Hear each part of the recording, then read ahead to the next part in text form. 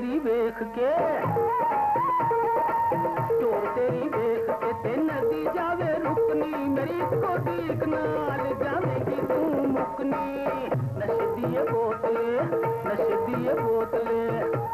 ऋषि साहब की वफात हुई तो इस बारे में आप क्या कहेंगे? मेरे पास कहने के लिए क्या है? मेरे पास तो यादें हैं जिन्हें मैं सारी ज़िंदगी याद करती रहूँगी। उनके बस मुझे दुख बहुत छोटा लफ्ज़ है। अफसोस बहुत छोटा लफ्ज़ है। घाव। ये वो घाव है जो कभी भर नहीं सकता। सारी ज़िंदगी में ये इस घाव के साथ ही मैंने जीना है। इस घाव के साथ ही मैंने मरना है। सच्ची बात ये, मौत याद रखनी चाहिए। मौत बरहक है। हर इंसान को आनी है। मुझे अपने साथ साथ जो उनकी फ़र्स्ट वाइफ है, उनका भी बहुत दुख है। मेरे साथ शायद उनका इतना टाइम नहीं गुजरा। उनके साथ उनका ज़्यादा टाइम गुजरा और वो भी बहुत परेशान होंगी। मैं उनके दुख में भी बराबर की शरीक हूँ। जैसे मेरे बच्चे हैं, वैसे उनके बच्चे हैं। ये बच्चे उनके बच्चे उनके बच्चे मेरे बच्चे मैं इसी तरह से मैंने हमेशा उन्हें प्यार किया है और आइंदा भी करती रहूँगी। और उन्होंने भी मेरे बच्चों से बहुत प्यार किया है। और मुझे उम्मीद है कि आइंदा भी वो करती रहेंगी। और अल्लाह ताला कैफी साहब को जन्नतफरदौस में जगह दे और रज़ाला बेगम को भी हौसला दे ज़िंदगी गुजारने का अपने बच्चों की पर, अब क्योंकि बच्चों का मेरे, मेरा और मेरे बच्चों के अलावा कोई नहीं, उनका उनके बच्चों के अलावा कोई नहीं। सच्ची बात है, बाप का साया बहुत बड़ा साया होता है। एक साहिबान होता है, साया नहीं होता साहिबान होता है। एक बादल होता है जो जब औलाद चाहे कि अब ये बरसे तो वो बरस पड़ता है। औलाद चाहे ये ना बरसे तो वो नहीं बरसता। बाप इतनी बड़ी चीज़ है। ये उनके जाने के बाद हमें एहसास हुआ। हालाँकि वो हमारी ज़िंदगी में नहीं थे, लेकिन वो लगता था कि हर वक्त हैं। मुझे तो हमेशा ये लगा वो थे, वो हैं और वो रहेंगे। तो इसके अलावा मैं कुछ नहीं कह सकता। अल्लाह ताला उन्हें जन्नतफरदौस में आला मकाम। हाँ हसन अली अपने वफ़ात के, अपने वालिद की वफ़ात के बारे में फिर आप क्या कहेंगे? उनकी वफ़ात के बारे में तो मैं ये कहूँगा कि उनकी कमी हमारी लाइफ में तो कभी पूरी नहीं हो सकती। और उनकी शख्सियत के बारे में तो आपने अब तक काफ़ी लोगों से पूछ लिया होगा, इसलिए मैं क्या बता सकता हूँ उनके बारे में? ये बता सकता हूँ कि मैंने उनके साथ एज एन असिस्टेंट डायरेक्टर दो फ़िल्म की।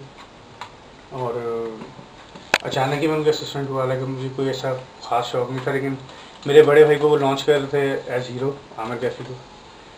तो मैंने फील किया कि मुझे भी करना चाहिए काम। तो मैंने उनको कहा कि मैंने आपको असिस्ट करना है। तो फिर उसी फ़िल्म में मैंने उनको असिस्ट किया। तो टेक्निकली उनसे बड़ी चीज़ें सीखी ज़िंदगी किस तरह गुजारनी ये भी उनसे सीखा। उनकी कमी नहीं पूरी हो सकती। मुझे एक वाक्य जो सबसे अपनी लाइफ का यादगार लगता है वो यही लगता है कि मेरा भी कुछ दिनों के बाद फ़र्स्ट सिंगिंग एल्बम जो है वो मार्केट में आ रहा है। किस नाम से? गुरूर। तो मुझे गाने का शौक़ हुआ तो मैंने अबू को कहा कि मेरा गाना सुन लें एक दफ़ा? ताकि मैं फाइनली मुझे अगर आपने अप्रिशिएट कर दिया तो फिर मुझमें हौसला आ जाएगा कि हाँ यार मैं अब करूँ ये काम। तो उन्होंने मुझे दस पंद्रह दिन नहीं सुना। और दस पंद्रह दिन के बाद एक दिन अचानक मुझे गाड़ी में बैठाने का चल, मैंने तो किसी से मिलाना है। तो उधर लेके गए, उधर वो एक म्यूज़िक डायरेक्टर थे साबिर साहब, और उधर भी मैं परवेज मदी साहब भी बैठे थे, और भी कुछ सीनियर लोग बैठे थे फ़िल्म इंडस्ट्री में। उधर भी उन्होंने फिर मुझे कहा कि यहाँ पे गाना गा। अब यहाँ तो मेरी बहुत इंसल्ट होगी आज। मैं किसी को मुँह दिखाने के काबिल नहीं रहूँगा। यहाँ फिर आज मेरी बड़ी इज़्ज़त होगी। तो आज यहाँ आर या पार तो मैं उस वक्त इसलिए कंफ्यूज ज़्यादा हो गया तो काफ़ी बड़े लोग बैठे हुए थे। लेकिन मैं गाया, वो बड़े खुश हुए मुझे गले लगाया और फिर उन्होंने मुझे बहुत अप्रिशिएट किया कि तुम ये काम करो। और फिर उन्होंने मुझे, बल्कि ये कहा कि तुम डायरेक्शन ना करो तो सिंगिंग की तरफ़ किया। लेकिन हमने बचपन से अब्बा का डायरेक्शन में इतना रूज देखा हुआ था कि हम उससे बहुत फैसिनेट थे कि हमने डायरेक्शन करनी। तो इंशाल्लाह मेरी कोशिश है, आप भी दुआ करें कि अल्लाह ताला हमें इस काबिल करें कि हम उनकी लेगेसी को कंटिन्यू करें। और उनके नाम को मज़ीद रोशन करें। अल्लाह उनको जन्नत नसीब करे और उनकी रूह को हमेशा हमारी तरफ़ से खुशी मिले। आमीन तुम्हारा बहुत शुक्रिया। और बेटा आप क्या कहेंगे अपने अबू के बारे में? मैं सिर्फ़ नहीं कह सकता हूँ कि सारे बहन भाई में सबसे छोटा था मैं। तो अबू साथ कभी किसी सियासी मसले पे या कोई दुनियावी जो बात हुई उस पर कभी इतनी ज़्यादा बात तो नहीं हो सकी। लेकिन बड़ा मज़ा आता था अबू साथ फ़िल्म देखने का गाने सुनने का। फिर रात में होता था, खाने के बाद हम वॉक करने जाते थे। वॉक के दौरान फिर मैंने अबू से कहने लगा मुझे एक्टिंग का शौक है। मुझे कुछ आप टिप्स दे दिया करें। फिर मुझे उस टाइम पे वो टिप्स देते थे कि, बेटा इन इंज करना है इंज करना है।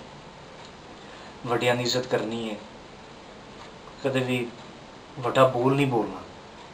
और हम लोग, बेटा, हम लोग जिधर काम को छोड़ा है, आपको वहाँ, वहीं से कंटिन्यू करना है। हम लोगों का नाम ना बस बदनाम हो। मुझे बस इस चीज़ का दुख भी रहेगा, भाई का भी है, अपना भी है कि दो महीने बाद भाई का जो है एल्बम रिलीज़ है, मेरा जो है, एक महीने बाद मेरा ड्रामा जो है वो रिलीज़ होगा तो अबू नहीं होगा देखने के लिए।